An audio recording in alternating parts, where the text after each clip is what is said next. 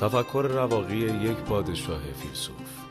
مراقبه ها نوشته مارکوس اورلیوس.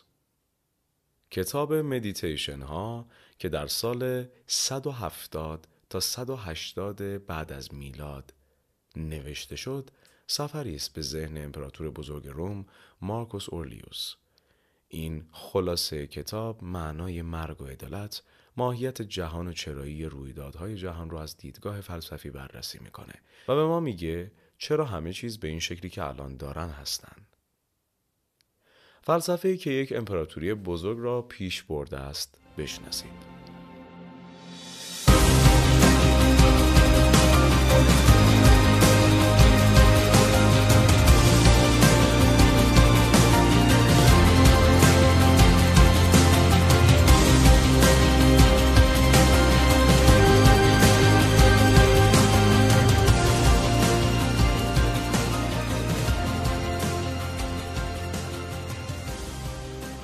دو قرن بعد از میلاد مسیح اوج امپراتوری روم بود. بعد از یک دوره طولانی آشفتگی و نارامی داخلی روم در یک دوره صلح و رفاه نسبی به سر می برد. پنج امپراتور اول این دوره پنج امپراتور خوب نامیده میشن. آخرین و پنجمین امپراتور مارکوس اورلیوس کبیر بود. اولیوس نه تنها امپراتور بلکه فیلسوفی بود که عقاید خودش رو بر سنتهای رواقی گرایی یونانی استوار کرد. رواقی گرایی مکتبی است که خودکنترلی و آرامش رو راهی برای غلبه بر احساسات منفی می‌دونه. فلسفه اورلیوس باعث شد که به اون لقب پادشاه فیلسوف رو بدن. اما سوالی که به وجود میاد اینه که اون چه ایده ها و تفکراتی داشت.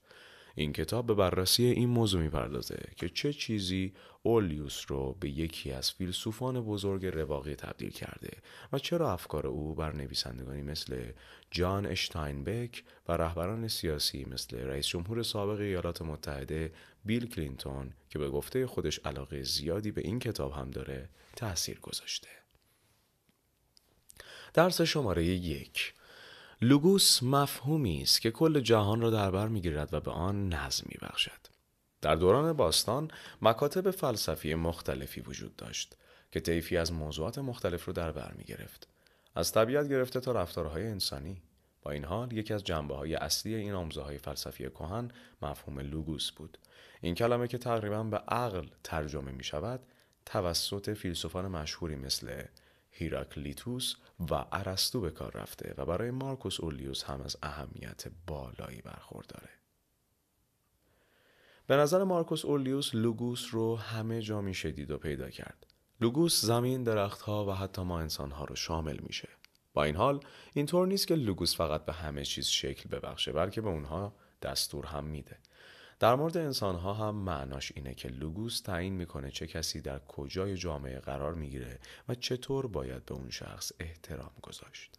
بنابراین لوگوس حکم می‌کنه که باید با بردگان اینطور رفتار کرد و با امپراتورها باید رفتار خیلی بهتری داشت. اما ما چرا باید با چنین جایگاه های نابرابری موافقت کنیم؟ چون لوگوس جوهر تغییر ناپذیر زندگی و طرح اصلی زیربنایی برای همه رویدادهاست و کل جهان رو در بر می‌گیره. پس بهترین و ایدئال ترین راه برای نظم بخشیدن به جهان هم همینه. در واقع لوگوس دائما در تلاشه تا جهان رو به بهترین شکل ممکن پیش ببره. حتی زمانی که مارکوس اولیوس دوران سختی رو در زندگی خودش پشت سر میگذاشت ایمان داشت که در طرح بزرگ لوگوس قرار می‌گیره چرا که هر اتفاقی هم که بیفته کاملا درست و به موقع هستش. و هیچ کس نباید آرزوی تغییر رو در سر بپرورونه. پس حتی زمانی که بیشتر اعضای خانوادش از دنیا رفته بودن و امپراتوریش با شورش ها و قیام ها به چالش کشیده می‌شد مارکوس اولیوس همچنان به اعتقاد خودش وفادار بود که می‌گفت همه چیز همون جوریه که باید باشه. سوخت جت. درس شماره دو. مرگ اجتناب ناپذیره و نباید از اون ترسید. در دوران باستان مرگ واقعیت آدم ها حضور داشت. در اون دوران نرخ مرگ و میر نوزادان خیلی بالا بود و امید به زندگی هم خیلی پایین تر از امروز بود. در نتیجه یکی از دقدقه های فکری مارکوس اولیوس اغلب ترس از مرگ بود. در اون دور از تاریخ بیشتر مردم از مرگ وحشت داشتند. اما مارکوس اولیوس دیدگاه متفاوت و جالبی داشت. اون فکر می‌کرد که مردم نباید از مرگ بترسن چون همه موجودات زنده یا مرده هنوز بخشی از لوگوس هستن به این ترتیب مردن صرفا لوگوسیه که یه بدن رو ترک می‌کنه. بدنی که از همون لحظه تولد شروع به مردن می‌کنه. وقتی کسی میمیره یه بار دیگه بخشی از یه لوگوس بزرگتر میشه و از اونجا جوهره اون فرد به تشکیل موجودات زنده جدید میپیونده و این چرخه بی پایان رو ادامه میده. علاوه بر این مرگ دقیقا زمانی اتفاق میفته که لوگوس به اون مرگ نیاز داشته باشه. به حال از اونجایی که لوگوس نقشه بزرگتری داره ترس از مرگ و ترس از میلیون ها چیزی که می‌تونن شما رو بکشن فایده ای نداره. مارکوس اورلیوس عقیده داشت که حالا که قراره بمیره چه در پیری بر اثر سرطان یا چه ظرف یک لحظه در میدان نبرد بیفاید است که از مرگ از چیزی که تا این حد اجتناب ناپذیره بترسه. چون مرگ هر موقع هم که سر برسه تو نمی‌تونی کاری برای اون بکنی و ناچاری که تسلیم بشی. و حتی فراتر از این اون می‌دونست که بهترین مردم هم بالاخره میمیرن پس زمانی که این پادشاه فیلسوف همسرش رو از دست داد و هر طرف رو که نگاه می‌کرد مرگ رو می‌دید به خودش یادآوری می‌کرد که در نهایت همه میمیرن. چه امپراتور بزرگی باشی چه فیلسوف بزرگی مثل افلاتون و چه گلادیاتور جدا در هر صورت باید مرگ و فانی بودن رو در آغوش گرفت. نه اینکه با ترس از مرگ زندگی کرد. درس شماره سه. زندگی کوتاهتر از اونه که وقت خودمون رو با گله و شکایت تلف کنیم. حالا می‌دونیم هر کسی ممکنه در هر لحظه بمیره. چه در اثر حمله قلبی چه بر اثر یه تصادف عجیب و غریب یا صرفا بر اثر کهولت سن. و از اونجایی که آدم نمی‌دونه مرگش چه زمانی سر می‌رسه مهمه که همیشه بهترین آدمی باشید که می‌تونید. این که بذارید کارهایی که مجبور به انجامشون هستید شما رو آزرده خاطر کنن ایده چندان جالبی به نظر نمی‌رسه. زمانی رو که می‌تونید خیلی مفیدتر بگذرونید با گله و شکایت کردن از سختی های زندگی اون رو هدر ندید. هیچکس نباید با زندگیش این کار رو بکنه. به عنوان مثال هرچند که مارکوس اولیوس دوست نداشت برای مجرمین دادگاه برگزار کنه اما همیشه این کار رو با خوشحالی انجام می‌داد. چون معتقد بود که نباید لحظه ای از عمر کوتاهش رو صرف بیزاری از مسئولیت هاش کنه. و حال اگر لوگوس نیاز داره که اون روز خودش رو در دادگاه سپری کنه اون باید این کار رو انجام بده و نذاره که به خاطر گله و شکایت اون دادگاه برگزار نشه و دیگران به این خاطر آسیبی ببینن. این موضوع به همینجا ختم نمیشه. از اونجایی که مدت زمانی که ما رو به روی زمین هستیم بسیار محدوده لازم و ضروریه که تا جایی که می‌تونیم کارهامون رو انجام بدیم. به عنوان مثال مارکوس اولیوس همیشه سعی می‌کرد به جای اینکه تا ظهر در رخت خواب بخوابه صبح زود بیدار شه و سازنده تر باشه. با این حال با وجود اینکه اون از صحبتهای کوتاه و بحثهای سطحی در دادگاه متنفر بود و این رو نوعی اطلاف وقت می‌دونست باز همین کار رو وظیفه خودش می‌دونست و معتقد بود که باید به برنامه‌ای که لوگوس براش مقدر کرده خدمت کنه. حتی اگه معناش این باشه که گاهی به مردم اجازه بده وقتش رو هدر بدن و تلف کنن. و هر بار که نزدیک بود تسلیم بشه و جا بزنه فقط کافی بود که نقش و جایگاه خودش رو به عنوان یک امپراتور و عضوی از لوگوس به خاطر بیاره و دوباره سرپاشه و قدرت بگیره. سوخت جت. درس شماره چهار. منطق ضروری است. احساسات می توانند استدلال ما را از پا در بیاورند و به ما آسیب های غیر ضروری وارد کنند. معلف و مکتب فلسفی رواقی که مارکوس از پیروان فدایی اون بود در جهان بیشتر از هر چیزی برای عقل و درک منطقی ارزش قائل بود. بنابراین ذهن آرام و تحلیلگر را بهتر از هر چیزی می‌دونست و معتقد بود که نباید اجازه داد امیال و احساسات بر اون حاکم بشه. این روی کرد کاملا منطقی هم است. چرا که لوگوس اساسا در مورد حکومت از طریق عقل و نظم و سیستمیه که در اون چیزی اتفاق میفته که قرار بوده اتفاق بیفته و این خوبه. برای مثال اگر خونتون در آتیش بسوزه می‌تونید به این اتفاق به چشم یک فاجعه به تملم معنا نگاه کنید.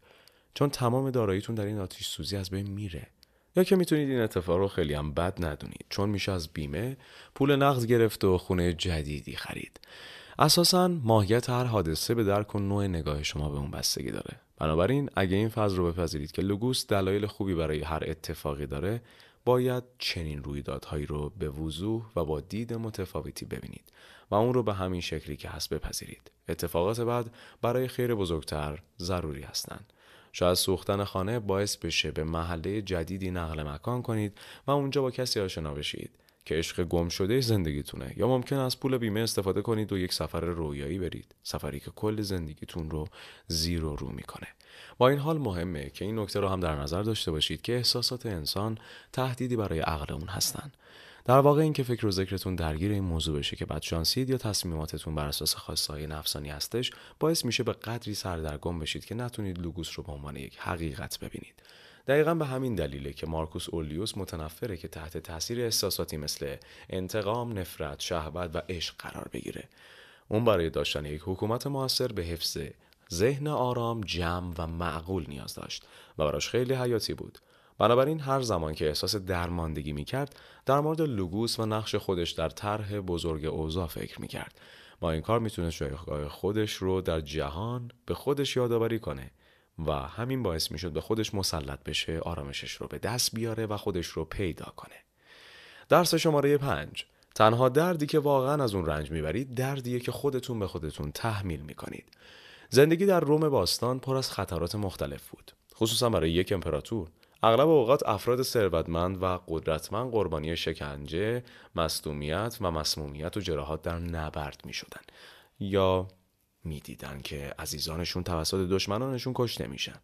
مارکوس اورلیوس با حفظ این باور که تجربه درد فیزیکی هنوز هم بخشی از خیر بزرگتر یعنی لوگوس هستش با درد ناشی از همه این رنج ها کنار اومد. لوگوس ایجاب می‌کنه که مردم گاهی برای ادامه نظم طبیعی رنج ببرن. بنابراین اگر کسی شکنجه کشته بشه و در این مسیر رنج شخصی وحشتناکی رو تجربه کنه باز همین اتفاق در لوگوس کاملا درسته. چون این اتفاق دقیقا همون چیزیه که قرار بوده اتفاق بیفته. در واقع مارکوس اولیوس تقریبا هر سیزده فرزند خودش رو در نوزادی از دست داد و همسرش هم در نهایت به اونها پیوست و در جوانی از دنیا رفت. اما مارکوس اولیوس با یادآوری اینکه همه چیز به دلایل خوب و منطقی اتفاق میافته تونست در این سختی آرامش خودش رو حفظ کنه. از این گذشته از اونجایی که لوگوس کاملا معقوله هر اتفاقی هم که بیفته لزوما خیره و رد چنین سرنوشتی غیر طبیعیه. انسان ها هم کاملا مسئول تصمیماتی هستن که می‌گیرن. هر آسیبی که از یه منبع خارجی به شخص وارد میشه چیزیه که خارج از کنترل اونه. پس چیزیه که واقعا نمی‌تونه به اون آسیب بزنه. اما چطور؟ خب از اونجایی که لوگوس بخشی از هر انسانه تنها کاری که مردم می‌تونن انجام بدن اینه که درد رو بپذیرن و بدون گله و شکایت به راه خودشون ادامه بدن. شکایت کردن صرفا به منطق جاودانه لوگوس که در هر وجودی و در هر فردی نهفته بی احترامی می‌کنه و درد بیشتری رو به خود فرد تحمیل می‌کنه. و به صورت خلاصه و پیام کلیدی این کتاب باید بگیم که جهان و زندگی توسط نیروی اداره میشن که جهان رو در بر گرفته و به اون نظم میبخشه. این نیرو یعنی لوگوس نام داره. لوگوس اثبات می‌کنه که همه چیز بنا به دلیلی اتفاق میافته. بنابراین هیچ دلیلی برای ترس از مرگ، رنج کشیدن یا شک به وظیفه خود در قبال جامعه وجود نداره چون هر کدوم از اینها بخشی از یک برنامه بزرگتر و بی ایم و نقص هستند. یک توصیه عملی با بقیه با انصاف و با مهربانی رفتار کن. شما تنها کسی هستین که می‌تونه سرنوشت و کارهاتون رو تعیین کنه. بنابراین حتی اگر دیگران هم با شما نامهربان هستن به خودتون اجازه ندید که خودتون رو تا حد اونا پایین بیارید. همیشه با وقار و انصاف با دیگران رفتار کنید. اینجوری هیچ وقت از کارهای خودتون بهتون آسیبی وارد نمیشه. ممنونم ممنونم که تا اینجا با ما همراه بودید. شنوندگان خوب سایت سوخت جد شما عزیزان می‌تونید برای دانلود کتاب های صوتی و پادکست های بیشتر هم به سایت سوخت مراجعه کنید. خداوند یار و نگهدارتون.